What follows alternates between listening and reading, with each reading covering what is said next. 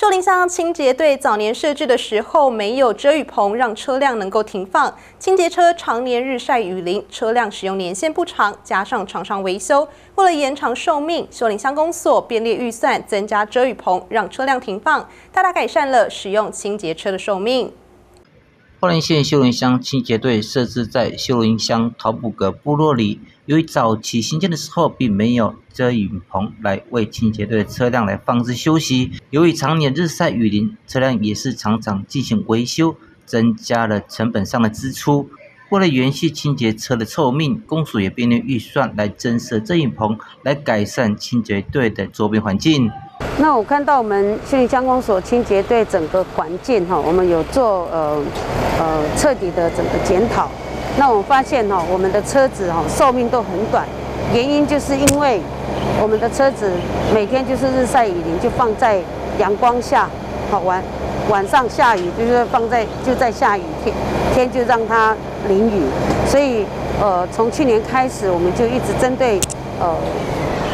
环境的整个改善哈做一个呃检讨，那呃我们已经陆续了哈，我们诶我们的车辆。都有这一棚可以有地方可以停放，好，那我们这次呃做了非呃五六座的车辆停放处，那我们也做了呃针对轮胎以及那个瓶呃废瓶子的呃整个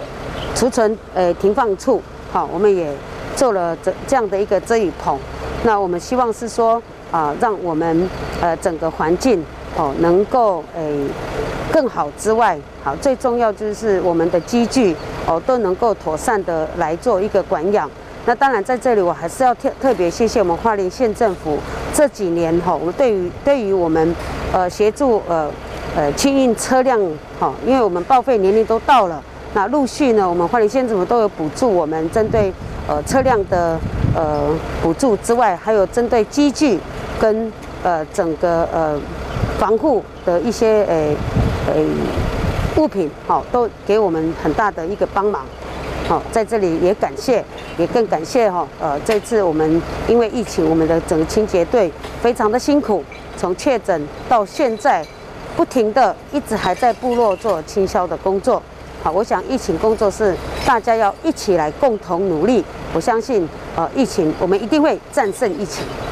新闻校长王贵在建设科长吴尚荣和清洁队长张伟明的陪同之下，来说明增设的设施以及周边环境的改善。希望透过这次的规划，营造清洁队成为最友善的环境，让清洁队工作能够更加的顺利。记者钟义学校报道。